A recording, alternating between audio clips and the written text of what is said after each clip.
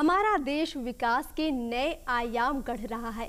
हम हर क्षेत्र में तरक्की कर रहे हैं, लेकिन स्वास्थ्य के मामले में हमें और ज़्यादा सजग होने की ज़रूरत है ताकि हम विकास की गति को बढ़ा सकें। नमस्कार, मैं अर्पिता, दूरदर्शन बिहार के हेलो डॉक्टर कार्यक्रम में सभी दर्शकों का बहुत बहुत स्वागत करती हूँ। दर्शकों, आज के अंक में हम बात करने वाले हैं लिम्फेटिक के बारे में। जी हाँ लिम्फेटिक फाइलेरिया के बारे में। जिसे आप हाथी पाव के नाम से भी जानते हैं। हम इसी पर चर्चा करेंगे, साथ ही ये समझेंगे कि आखिर ये होता क्यों है, इससे बचाव का तरीका क्या है। और इसके लिए स्टूडियो में हमने दो खास मेहमान को बुलाया है, आपका उनसे परिचय करवाते हैं। हमारे साथ हैं राजीव मांझी जी। आप केंद्रीय स्वास्थ्य एवं परिवार कल्याण मंत्रालय में संयुक्त सचिव हैं। हमारे साथ हैं राजेश पांडे जी। आप state coordinator state coordinator WHO है। तो आप दोनों का बहुत बहुत स्वागत है हमारे कार्यक्रम में।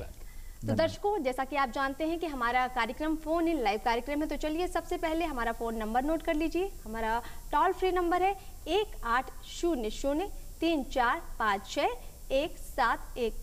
आप फ़ोन उठाइए नंबर मिलाइए और आपके जितने भी सवाल हैं इस कार्यक्रम में आप रख सकते हैं। यहाँ पर मेहमान मौजूद हैं। कोशिश करेंगे कि हम आपकी समस्या का समाधान इसी कार्यक्रम के ज़रिए कर पाएँ। तो दर्शक हमारे साथ जुड़ेंगे चर्चा में शामिल होंगे लेकिन उससे पहले हम चाहेंगे कि सबसे पहले हमारे दर्शक को हम ये बताएँ कि आखिर लिम्फेटिक फाइलेरिया यानी कि हाथी पाव है क्या? धन्यवाद। धन्यवाद। सबसे पहले मैं सभी दर्शकों को नमस्कार करना चाहता हूँ। और अर्पिता जी जब बात लिम्फेटिक फाइलेरियसिस की होती है जैसा कि आपने बताया कि इसे हम हाथी पाँव के नाम से जानते हैं तो ये संक्रमित मच्छर के काटने से होने वाली एक बीमारी है। अब संक्रमित मच्छर के काटने के बाद जो बीमारी होती है, उसे जनरल पार्लेंस में हम लिम्फेटिक फाइलेरियसिस कहते हैं। इसके मैनिफेस्टेशन डिफरेंट होते हैं। कहीं हाइड्रोसिल के शेप में होता है और कहीं टांगों में जो है, वो सूजन इतना सूजन हो जाता है जिसे हम टांग को कहेंगे, फूल जाता है। और ऐसी भयावह स्थिति हो जाती है कि लोगों का चलना फिरना दूभर हो जाता है। तो ये एक ऐसी बीमारी है जिससे बचाव करना हमारे लिए बहुत ज़रूरी है। तो लिम्फेटिक फाइलेरियसिस को अगर हम बाकी लोगों को कहें तो वो शायद हाइड्रोसिल को अलग कर लेते हैं और हाथी पाँव को समझते हैं कि वो अलग है, बट लिम्फेटिक फाइलेरियसिस में दोनों चीज़ें आ जाती आ जाती हैं। भारत के किन किन राज्यों में इसका प्रकोप अधिक है और इसके कारण क्या मानते हैं आप? देखिए, भारत के 20 राज्यों में लिम्फेटिक फाइलेरेसिस यानी कि हाथी पाव का प्रकोप है। अब 20 राज्यों की जब बात करें तो 20 राज्य जो हमारे हैं वो खासकर कोस्टल एरिया, बीच के जो गंगा बेसिन या उस तरह के जो इलाके हैं, या जहाँ क्यूलेक्स मच्छर, जो मच्छर मुख्य रूप से जिम्मेदार है इसके लिए, वो क्यूलेक्स है। सो जहाँ पे भी क्यूलेक्स का बाहुल्य है जहाँ भी क्यूलेक्स मच्छर आपको मिलेंगे वहाँ इसके प्रकोप अधिक हैं। तो भारत के 20 ऐसे राज्य हैं जहाँ पे इसका प्रकोप है और उसमें हमारे लिम्फेडिमा के केसेस भी बहुत होते हैं हाथी पाव के केसेस भी बहुत होते हैं। तो दर्शकों सुना आपने जैसा कि राजीव जी ने कहा है कि ये बीमारी मच्छर से होती है। आपको ये जानना बहुत ज़रूरी है कि आपके आसपास जो मच्छर है वो आपको ये बीमारी दे सकते हैं। तो आगे हम चर्चा में आपको बताएँगे कि आपको इससे बचना कैसे है। हम आपसे राजीव जी जानना चाहेंगे राजेश जी आपसे जानना चाहेंगे कि इस बीमारी को लोग जो इसके बारे में नहीं जानते हैं वो भी इसके बारे में जान पाएँ। साथ ही इससे बचने के उपाय क्या क्या है? जी जी। एक बार फिर से सारे दर्शकों को नमस्कार। आपने बहुत अच्छा प्रश्न पूछा कि ये बीमारी लिम्फेटिक फाइलेरियासिस जैसा कि हमारे जॉइंट सेक्रेटरी सर ने भी बताया लिम्फेटिक फाइलेरियासिस मच्छर से होती है तो मच्छर एक वाहक है। मच्छर डायरेक्ट अगर ब्लड ले भी रहा है, लेकिन कोई व्यक्ति अगर इन्फेक्टेड नहीं है फाइलेरिया से तो फिर वो केवल ब्लड ले जाएगा, लेकिन उसके अंदर अगर फाइलेरिया के परजीवी मौजूद हैं तो वो क्यूलेक्स मच्छर खून के साथ साथ फाइलेरिया के परजीवी को भी ले जाएगा। इसका मतलब ये हुआ कि फाइलेरिया जहाँ पर इसके परजीवी लोगों के अंदर हैं और जहाँ पर इस तरह के मच्छर मौजूद हैं, अगर ये दो चीज़ें मौजूद हैं तो इसका ट्रांसमिशन होता रहेगा। अब इस ट्रांसमिशन को अगर रोकना हो, यानी कि इसके प्रसार को रोकना हो तो उसका एक बहुत सरल सा उपाय है कि हम एक ख़ास तरह की दवा जिसके बारे में हम आगे चर्चा करेंगे, वो एक ख़ास तरह की दवा वर्ष में एक बार, वो भी सरकारी सिस्टम में हमारे फ्रंट लाइन वर्कर जो हमारी आशा बहनें हैं, जो आंगनवाड़ी हैं, वॉल्टियर्स हैं, वो टीम बनाकर ख़ास दिनों में घर घर पर वो छोटी छोटी दो प्रकार की या तीन प्रकार की दवाएँ अपने सामने खिलाते हैं। एक बार खाना है साल में। ऐसा अगर वो खाते रहें तो कम से कम पाँच साल तक अगर इस तरह की दवाएँ उनके पेट में चली जाएँ तो ट्रांसमिशन रुक जाएगा। बचाव ही इसका सबसे बड़ा उपाय है, क्योंकि जिसको हाथी पाँव हो गया तो हाथी पाँव होने के बाद अब उसको हम ये एक जो साल भर में दवा खिलाते हैं, वो हम खिलाएँगे। लेकिन वो दवा उसके उस हाथी पाँव को नहीं रोक पाएगी। हाथी पाँव के लिए दूसरे उपाय किए जाएँगे। इसलिए हाथी पाँव न होने दिया जाए हाइड्रोसील न होने दिया जाए पचासी प्रतिशत हाइड्रोसील फाइलेरिया के एंडेमिक एरिया में फाइलेरिया के कारण होते हैं।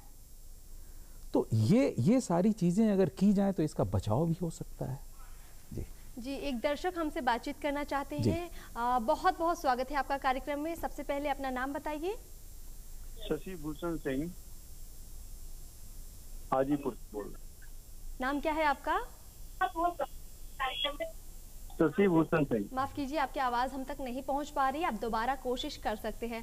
आ, मैं आपसे राजेश जी इसी पर एक अगला सवाल लेना चाहूँगी। जैसा कि आपने बताया कि बचाव ही इसको बचाव ही इसका उपाय है। जैसा कि हम जानते हैं कि पोलियो से बचने के लिए हमें पोलियो ड्रॉप लेनी होती। क्या ये बिल्कुल वैसा ही है? आ, अगर हम सरल भाषा में कहें तो इसको जैसे एमडीए कहा जाता है मास ड्रग एडमिनिस्ट्रेशन जिसको शुद्ध भाषा में कहा जाए, अपनी लोकल भाषा में, सर्वजन दवा सेवन। इसका एक टेक्निकल नाम भी है, उसका नाम है प्रिवेंटिव कीमोथेरेपी तो प्रिवेंटिव कीमोथेरेपी यानी एक ऐसी दवा जो प्रिवेंशन करती है। तो इसका मतलब ये हुआ कि हम एक साथ उस इलाके के सारे लोगों को हम दवा इसीलिए खिलाते हैं कि जिनको इन्फेक्शन है और जिनको नहीं है। उन दोनों लोगों के अंदर से इन्फेक्शन है तो वो मर जाए ताकि इन्फेक्शन खत्म हो जाए और जिनके अंदर नहीं है उनके अंदर भी कोई संभावना न रह जाए इसलिए हम ये सर्वजन दवा सेवन कराते हैं तो पोलियो से एग्जैक्टली exactly अगर हम ये कहें कि हाँ समझाने के लिए ज़रूर कह सकते हैं कि हाँ पोलियो प्रोग्राम से ही मिलता है पोलियो में भी हम पोलियो को प्रिवेंट करते हैं हम्म। कि ना होने पाए इसमें भी हम अगर दवा खाएँगे तो फाइलेरिया नहीं होगी वो प्रिवेंट होगा एग्जैक्टली exactly. मैं आपसे इसी प्रश्न को आगे लेना चाहूँगी कि आप क्या सलाह देंगे दर्शकों को? कैसे एक दर्शक हमसे जुड़ना चाहते हैं पहले उनसे बातचीत कर लेते हैं। जी बहुत बहुत स्वागत है आपका कार्यक्रम में। नाम क्या है आपका? जी बताइए क्या प्रश्न है आपका? मेरी जी। मेरी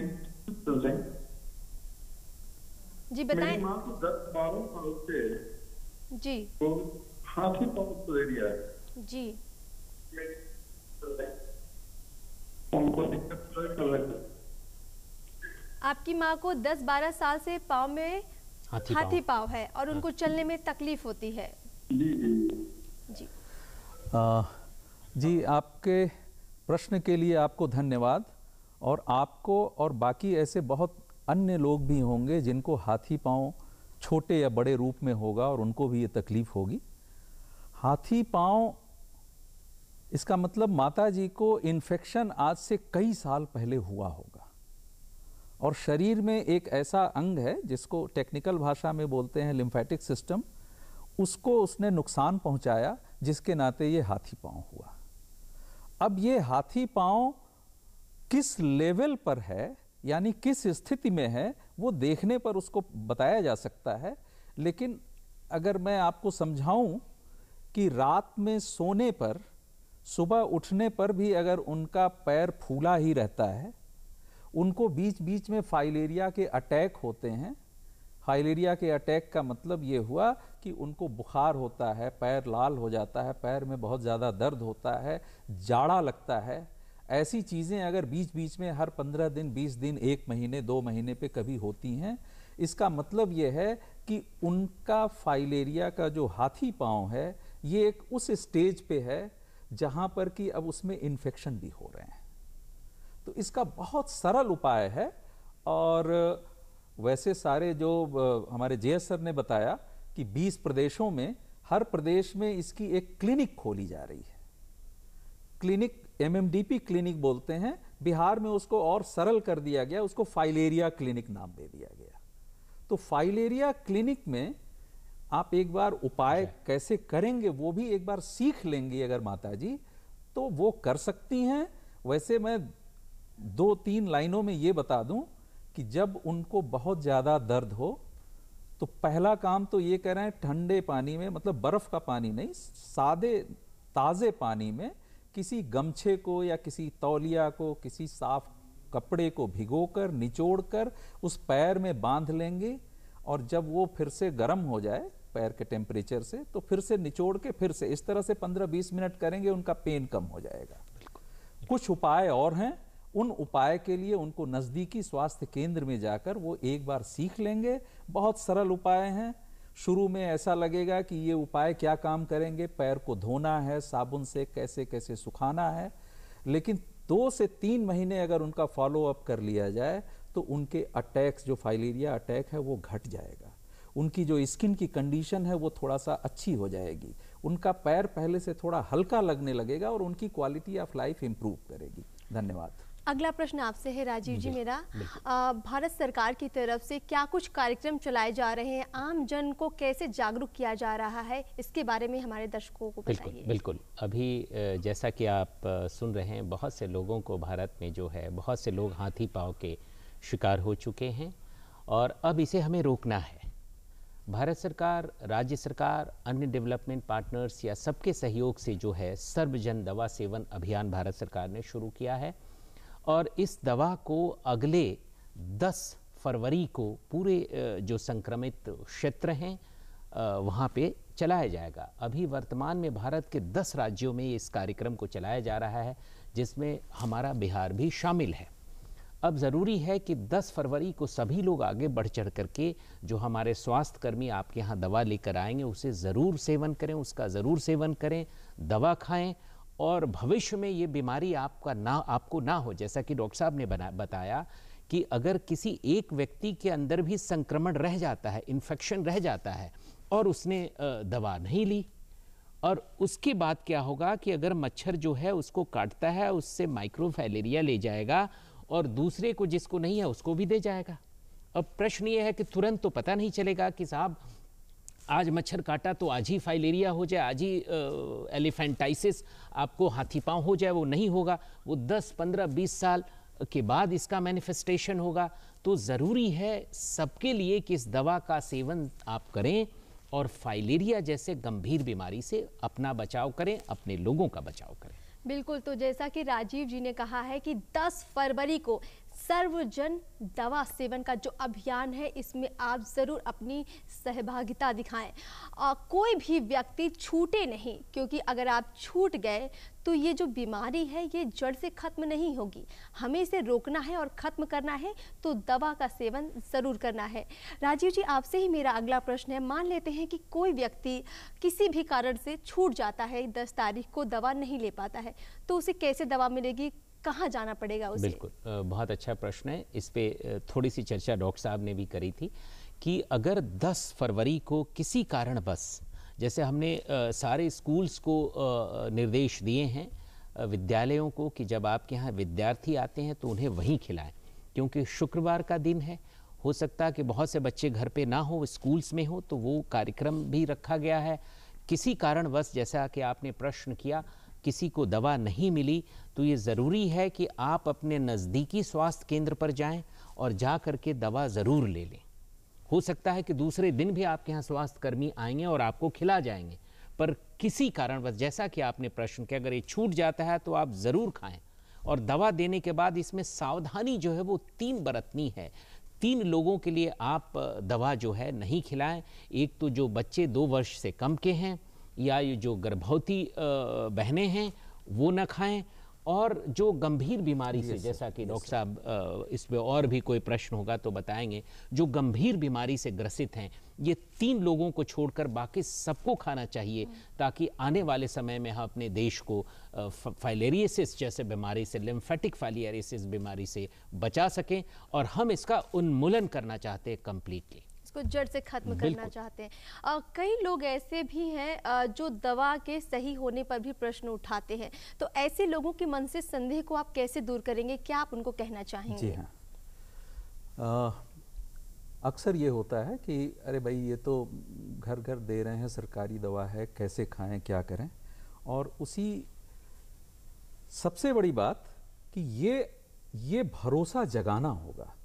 इसका मतलब ये हुआ कि अगर हमारे पास कोई भी वस्तु है तो उसके लिए डिमांड जनरेट करनी होगी। तो उनको ये बताना होगा, हमारे पास जो डिब्बा है, वो जिसमें एल्बेंडाजॉल है, वो क्लियर कट उनके सामने वो देख सकता है कि वो वर्ल्ड की जो दो चार बेस्ट कंपनीज़ हैं, उनमें से उसकी है। दूसरा, जो गवर्नमेंट ऑफ़ इंडिया से जो डीसी आ रही है, जो आइवरमेक्टिन आ रही है तो वो सारी चीज़ें उनके साथ में हैं। अगर ऐसा कुछ है तो वो उनको दिखाया जा सकता है, नंबर वन। लेकिन पहली बात मेरी वो सबसे आवश्यक है कि वो भरोसा जगाना। और वो भरोसा जगता है जब हम जागरूकता अभियान और ये केवल स्वास्थ्य विभाग का प्रोग्राम ना रह जाए। और मैं सर की बात को कह रहा हूँ कि ये जन जन का प्रोग्राम हो जाए। हर प्रोग्राम हर व्यक्ति और हर ऑर्गेनाइजेशन और हर संस्था, हर डिपार्टमेंट इसमें इन्वॉल्व जैसे कि कई बार होता है हम देखते हैं कि हम कई तरह की दवाइयाँ खाते हैं तो उसके बाद हमारे शरीर में कुछ अजीब से लक्षण भी नज़र आते हैं किसी को चक्कर आता है किसी को पसीना आता है। क्या ये दवा लेने के बाद भी कुछ ऐसे लक्षण नज़र आएँगे या इस दवा बिल्कुल सुरक्षित है ऐसा कुछ नहीं है? ये अभी तक के जितने सवाल हैं उसमें से एक बहुत महत्वपूर्ण सवाल है। और इसका उदाहरण मैं बिना ज़िले का नाम लिए मैं लेता हूँ कि एक जिला है जिस ज़िले में जब बहुत अच्छे से कंज्यूम कराई गई दवा वास्तव में खाया तो कुछ लोग ऐसे निकले जिनको कुछ देर के लिए मितली महसूस हुई वॉमिटिंग महसूस हुई या बुखार आया कुछ लोगों को। ये वास्तव में ये एक पॉजिटिव चीज़ है कि उनके अंदर माइक्रोफाइलेरिया यानी फाइलेरिया का परजीवी मौजूद था और इस दवा के असर से वो बहुत तेज़ी से मरना शुरू हुआ। उस इफ़ेक्ट से ऐसा होता है अब इसको देख इसको अगर हम पॉजिटिव इस माध्यम से भी मैं कहना चाहूँ कि ये एक पॉजिटिव चीज़ है उसके लिए रैपिड रिस्पांस टीम बनी हुई है जो उसको हैंडल करेगी। लेकिन घबराना नहीं है कि ये कोई बहुत ख़राब चीज़ हो गई। इट मीन्स कि उस उस व्यक्ति ने ये दवा शायद अपने जीवन में पहली बार खाई हर बार वो दवा रख लेता था कहीं वो खाता नहीं था। तो ये जो रिएक्शन है ये एक तरह से रिएक्शन नहीं है ये उसके इन्फेक्शन को ख़त्म करने का एक साइन है। आपसे भी मैं इसी बारे में जानना चाहूँगी कि जो हमारी दवा है, हमारी कोशिश यही है कि हर एक आम व्यक्ति इस दवा का सेवन करे। आप किस तरह से लोगों को मन में, मन से ये भ्रांति हटाएँगे कि कोई भी ऐसी दवा जो है आपके शरीर को नुकसान पहुँचा सकती है या आपके स्वास्थ्य को ख़राब कर सकती है, ये आपके लिए बहुत बेहतर है, आप उनको कैसे समझाएँगे? बिल्कुल। जैसा कि अभी डॉक्टर साहब ने बताया कि एक दो इक्के दुक्के ऐसे मामले आ जाते हैं जहाँ लोगों को साधारण से कुछ परिवर्तन नज़र आते हैं और वो इसलिए भी होता है कि आप जो है उनके अंदर माइक्रो फाइलेरिया जो है उसकी प्रेजेंस थी और उसके वजह से हुआ। तो ये एक सकारात्मक बात है। जहाँ तक इस दवा के लिए बृहद स्तर पे जो रिसर्च है, जो एविडेंस है, वो कोई इन दवाओं का कॉन्ट्रा इंडिकेशंस कुछ इस तरह का नहीं मिला है। तो रिसर्च को अगर आप देखें और जो डेटा अवेलेबल है उसको अगर आप देखें तो हम आपको आश्वस्त कर सकते हैं कि ये सुरक्षित दवाएँ हैं। और तीन दवाओं की जो बात हुई है, डॉक्टर साहब ने जो तीन दवाओं की बात करी, कुछ ज़िले में हम दो ही दवा खिला रहे होंगे डीसी और एल्बेंडाजोल और कुछ ज़िले में तीन खिला रहे हैं। उसके हमारे वैज्ञानिक कारण हैं, क्यों हम खिला रहे हैं? इस वजह से उन कारणों की वजह से हम वहाँ पे खिलाया जा रहा है। वहाँ माइक्रोफाइलेरिया के प्रेजेंस और बहुत सारी चीज़ों को देख के खिलाया जा रहा है। तो इस पर बहुत विस्तृत रिसर्च करके और तब आपके पास दवाइयाँ लेके लोग आ रहे हैं। तो आपके लिए बिल्कुल सुरक्षित है और आप सेफ़ हैं इन दवाइयों से। और इससे केवल आप अपना भला नहीं कर रहे हैं, पूरे देश का भला कर रहे हैं। कल हम विश्व में जब हमारे मामले कम होंगे तो हमारे लिए भी गर्व की बात होगी और हमारे ऊपर जो इतना बर्डन है इस बीमारी का ये भी कम होगा। बिल्कुल। तो हमारे दर्शकों को आप ये भी बताइए कि क्या ये दवा पूरी तरह से निशुल्क है? और अगर ये निशुल्क है तो कहाँ कहाँ उन्हें ये दवा उपलब्ध हो सकती है? यानी नज़दीकी स्वास्थ्य केंद्र में क्या उन्हें ये दवा मिल सकती है? ये बड़ा आ, अच्छा प्रश्न आपने किया। जी, जी। ये दवा भारत सरकार के द्वारा निःशुल्क दिए जा रहे हैं। ये निशुल्क दवा है दी जा रही है और आप कहीं भी अपने नज़दीकी स्वास्थ्य केंद्र पर चले जाएँ आपको ये दवा निःशुल्क दी जाएगी। बिल्कुल। कोई इसके लिए कहीं कोई चार्ज नहीं किया जाएगा। हालाँकि ऐसी स्थिति कहीं कुछ रिपोर्ट आए थे कि कुछ लोग निर्धारित समय में दवा नहीं ले पाए तो कुछ ऐसे परिवार के लोग थे जो उन्होंने खरीद के मार्केट से खाया था। तो ये बहुत बड़ी बात है। लेकिन अभी हमारे पास इतना स्टॉक है कि जितनी पॉपुलेशन उसके हिसाब से हमने स्टॉक कर लिया है। और 10 फरवरी को मैं पुनः आप लोगों से आग्रह करना चाहता हूँ कि 10 फरवरी को जब स्वास्थ्य कर्मी आपके यहाँ आते हैं तो कृपा करके दवा ज़रूर खाएँ। ये सुरक्षित है, घबराने की कोई बात नहीं है। और इससे आप स्वस्थ रहेंगे आपको भविष्य में हाथी पाव की बीमारी कभी नहीं होगी। कभी नहीं होनी चाहिए। बिल्कुल दर्शकों हम भी जानते हैं कि स्वास्थ्य से बड़ा धन कुछ भी नहीं है। आप कोशिश कीजिए बस इतनी कि जब 10 फरवरी को आपके घर पर कोई भी स्वास्थ्य कर्मी पहुँचे तो बिना हिचके बिना झिझके ये दवा अवश्य लें। और साथ ही साथ इस बात का भी ख्याल रखें कि अभी तो मौसम सर्दी सर्दियों का चल रहा है लेकिन दो तीन महीने बाद बरसात भी आ जाएगी। गर्मी के बाद जैसे ही बरसात आएगी मच्छरों का प्रकोप बढ़ जाएगा। तो हम आपसे राजेश जी जानना चाहेंगे कि जैसे हम मच्छर की पहले भी चर्चा कर चुके हैं कि मच्छरों से ये कहीं ना कहीं बीमारी उत्पन्न होती है हमारे शरीर में। तो क्या हम मच्छरों पर कंट्रोल करके किसी तरह से उनको कम करके भी इस बीमारी से बच सकते हैं? उसकी क्या कुछ उपाय किए जा सकते हैं अगर कोई व्यक्ति खुद से करना चाहे? दिस इसकी जो स्ट्रेटजी है कि ट्रांसमिशन को रोका जाए तो एक स्ट्रेटजी जिस पे चर्चा हो चुकी कि 10 फरवरी को हर घर में हमारी टीम जाएगी और ये बेस्ट अपॉर्चुनिटी है कि वो दवा खाएँ और ट्रांसमिशन रुके। दूसरी स्ट्रेटजी ये है, वो है मच्छरों का कंट्रोल तो इसको एक वर्ड यूज़ होता है आईवीएम इंटीग्रेटेड वेक्टर मैनेजमेंट तो क्यों ना हम केवल फाइलेरिया की बात ना करें, क्यों ना हम ओवरऑल वेक्टर मैनेजमेंट की बात करें, जो कॉस्ट इफ़ेक्टिव भी है और तब वो जन आंदोलन भी बन सकता है। तो इसके लिए क्यूलेक्स मच्छर ये सभी लोगों को जानना चाहिए कि ये गंदे पानी में पनपते हैं। तो गंदे पानी में पनपते हैं इसका मतलब कि गंदे पानी को ये तो सिंपल सा उपाय है कि गंदे पानी को अपने घर के आसपास न रहने दें। इकट्ठा ना होने उसको इकट्ठा ना होने दें। अगर ऐसा कुछ है तो कुछ ऐसा उपाय करें जिससे कि वो वहाँ पर गंदा पानी न रहने पाए। और कुछ हैं लार्वा को थोड़ा मिट्टी का तेल डालते हैं और कुछ इस तरह के उपाय करते हैं। ये तो हो गया जो आप घर के बेस पे कर सकते हैं। इसके अलावा भारत सरकार और स्टेट सरकार इसने इस तरह के वेक्टर मैनेजमेंट के लिए बहुत सारे टेक्निकल बहुत सारी चीज़ें हैं, जिसमें इंडोर रेजिडुअल स्प्रे है, जिसमें ओपन फॉगिंग भी करते हैं, जो कि टेम्परेरी एडल्ट को मारता है।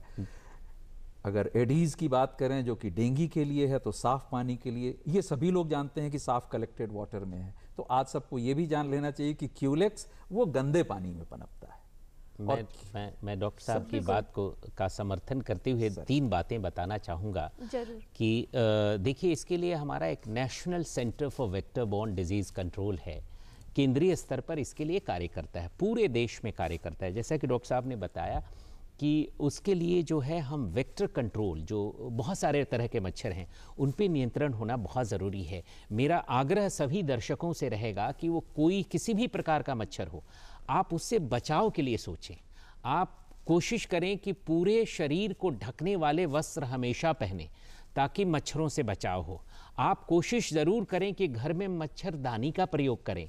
गर्मी हो, चाहे आपको लगता है हम मच्छरदानी हटा देते हैं, पर कृपया ध्यान रखें कि आप कितनी बीमारियों को न्योता दे रहे हैं कि अगर मच्छर आके काट ले तो आपको बहुत तरह की बीमारी हो सकती है।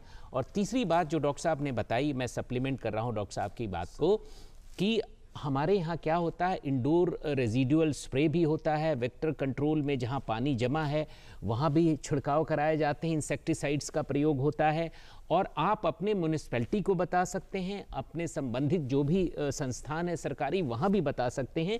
उनके माध्यम से भी हम या तो डीडीटी हो या जैसी ज़रूरत हो सिंथेटिक पैराथाइड हो, जो भी हो, हम करते हैं। तो ये सारी चीज़ें करते हैं, पर आप जागरूक बने, आप बताएँ बताएँ। जा के पर स्वयं सावधानी बरतनी है आपको ध्यान रखना है कि मच्छर के काटने से आप बचाएँ अपने आप को। ये बहुत ज़रूरी है और मच्छरदानी का प्रयोग ज़रूर करें। ज़रूर करें। तो बार बार हमने दो बातों का ज़िक्र आपके सामने किया। पहली ये कि सर्वजन दवा सेवा अभियान यानी कि फाइलेरिया से बचने का हाथी पाव से बचने के लिए जो एक दवा खिलाई जा रही है उसको ज़रूर खाना है। और दूसरी बात कि मच्छरों से बचाव करना है। मौसम कोई भी हो मच्छर अगर आपके आसपास है तो आप बीमार पड़ सकते हैं। इसलिए मच्छरों से कैसे सुरक्षित रखना है आपको आ, हमने इस कार्यक्रम में बार बार बताने की कोशिश की है। अब आपको ध्यान देना है कि आप क्या अपने हिसाब से उपाय कर सकते हैं। आपसे ही मैं अगला प्रश्न लेना चाहूँगी। हम देखते हैं कि आसपास पानी जमा हो जाता है तो जैसा कि आपने राजेश जी ने भी बताया कि कई लोग तेल डालते हैं उसमें। आ, लेकिन क्या ये सब तरीके सुरक्षित हैं? जैसे कि आसपास पानी में तेल डाल देना क्या इससे ये मच्छर मर जाता है? या इस मच्छर को मारने के लिए कुछ अलग तरह की दवा इस्तेमाल में लाई जा सकती है? आ, अभी तेल पे आपने चर्चा की तो केरोसिन एक्चुअली वो उसके जो लार्वा हैं, वो डूब जाते हैं जिससे कि उनको ऑक्सीजन नहीं मिल पाती और उनकी डेथ हो जाती है। तो जो गंदा पानी है, उसमें एक टेम्परेरी ये लोकल उपाय जो घरों के लिए ये उनको बताया जाता है। कुछ मछलियाँ ऐसी होती हैं गम्बूशिया फ़िश होती है, एक बारबडोस फ़िश होती है। इसको भी पाला जाता है और इसको पाल के इस तरह के पानी में डाल देते हैं। ये लार्वा को ही खाती हैं इस तरह के लार्वा को। ये कुछ छोटे छोटे उपाय हैं। इसके अलावा हर हाल में ये ध्यान रखना है कि मॉस्किटो या मच्छर वो खून को लेता है। अगर हमारे ब्लड में वो पर्टिकुलर किसी भी रोग का वो ऑर्गेनिज्म या वो परजीवी नहीं होगा तो वो शायद ब्लड ले जा सकेगा, लेकिन वो परजीवी नहीं ले जा सकेगा। तो मैं एक बार फिर से उसी पे फोकस करूँगा कि ट्रांसमिशन को रोकने के लिए घर घर में जो टीम जाएगी उससे दवा ज़रूर खिलवाएँ कि अगर मच्छर भूले भटके कहीं काट भी लिया तो भी वो फाइलेरिया के परजीवी को ना ले जा पाए किसी के पास। और दवा पेट में जानी चाहिए। किसी भी हाल में दवा ऐसा ना हो कि हम बाद में खाएँगे। तो अगर किसी ने खाली पेट उस टाइम है तो वो दवा न खाएँ। हमारी आशा बहन उनसे टाइम ले लेंगी कि जब वो खाना खा लेंगे, रीविजिट करके दोबारा उनको दवा सामने ही खिलाएँगी। तो मैं उस वेक्टर को फिर से इधर ले आ रहा हूँ कि वो तो करना ही है लेकिन ये बहुत आवश्यक है कि ट्रांसमिशन को रोका जाए बिल्कुल। आ, कई बार हम देखते हैं कि जो लोग इससे पीड़ित हैं उनके लिए तो बहुत तकलीफ़ की बात है ये। हमारे अस्पतालों में हमारे सरकारी अस्पतालों में क्या कुछ सुविधाएँ हैं? कैसे इसका इलाज हो सकता है? आप जानकारी बिल्कुल देंगे? बिल्कुल। देखिए सबसे बड़ी बात है कि जो लोग पीड़ित हैं आपने देखा होगा कुछ दृश्य आपने देखा होगा, पीछे स्क्रीन पे, हमारे स्क्रीन पे बहुत, ये देख रहे हैं आप स्क्रीन, ये कितनी भयानक स्थिति है। आप देख सकते हैं अगर किसी को भी हाथी, पाँव इस तरह की भयानक स्थिति हो जाती है और इस स्थिति में देखिए, ये बिल्कुल ठीक होने की स्थिति नहीं कि पूरी तरह से ठीक हो जाए, पर इसको जो है हम मॉर्बिडिटी मैनेजमेंट करते हैं। डिसेबिलिटी प्रिवेंशन के लिए उपाय है और इसमें एक प्रोटोकॉल है। भारत सरकार के जितने भी हेल्थ एंड वेलनेस सेंटर हैं प्राइमरी हेल्थ सेंटर जो है, सरकार के सहयोग से, वो केंद्र, राज्य सरकार सबके सहयोग से जो चल रहा है, वहाँ सुविधाएँ बढ़ा दी गई हैं। अगर आप जाएँ तो वहाँ पे जो सेट प्रोटोकॉल है, उसके हिसाब से इसका उपचार बताया जाएगा। पर ये ध्यान रहे कि इससे पूरी तरह से निजात आप नहीं पा सकते हैं, जैसा कि डॉक्टर साहब ने भी शुरू में बताया था। तो निजात आपको, निजात पाने के लिए एक ही तरीका है कि अगले 10 फरवरी को आपको बीमारी ही ना हो, इसे ध्यान रखना है कि जो स्थिति अभी आपने देखी हमारे बहुत से लोगों के साथ, वो स्थिति आपकी ना बने, इसलिए इस दवा का सेवन करना बहुत ज़रूरी है। बहुत ज़रूरी। तो हमने दर्शकों को तस्वीरों के ज़रिए दिखाया कि ये बीमारी कितनी गंभीर है और साथ ही साथ हमारे पास वक्त बहुत कम बचा है लेकिन हम एक छोटा सा बिल्कुल आपसे सवाल ले लेंगे। राजीव जी हमारे देश में तो हमने देखा स्थिति विश्व में भी ये बीमारी है कितने देशों में है? हम्म, बिल्कुल ये अक्सर प्रश्न आता है ये बीमारी विश्व के बहत्तर देशों में है मौजूद है ये बीमारी बहत्तर देशों में और लगभग 10 से 11 लाख इसके मामले हैं। पर दुर्भाग्य की बात है कि हमारे देश में पाँच लाख के करीब पाँच लाख से अधिक मामले हैं। तो ये आप सोच सकते हैं कि हम पूरे विश्व के 50 परसेंट जो बर्डन है 50 परसेंट बर्डन को हमारे पास है, हमारे देश के ऊपर है। तो इसलिए हमें ज़रूरी है, मैं आपके माध्यम से दूरदर्शन के माध्यम से सबसे आग्रह करना चाहूँगा कि इस बीमारी को हमें घटाना है और सर्वजन दवा सेवन जो है 10 फरवरी को और इसे, बल्कि अगले 10 दिन तक भी आपको दवाइयाँ मिल सकती है। आप सब लोग इसका सेवन ज़रूर करें और इसका भागीदार बने। चलिए, वक्त हो चुका है हमारे दर्शकों से विदा लेने का। आप दोनों का बहुत बहुत शुक्रिया। आप हमारे कार्यक्रम में आए, आपने हमारे दर्शकों को जागरूक किया। तो दर्शकों, अभी तो हम आपसे विदा लेते हैं, लेकिन इस वादे के साथ कि 10 फरवरी को आप इस अभियान में ज़रूर शामिल होंगे और ये जो हाथी पाव जैसी बीमारी है, इसको कोसों दूर रखेंगे अपने आप से और दवा ज़रूर लेंगे। फ़िलहाल इस कार्यक्रम में हमें दीजिए इजाज़त। नमस्कार।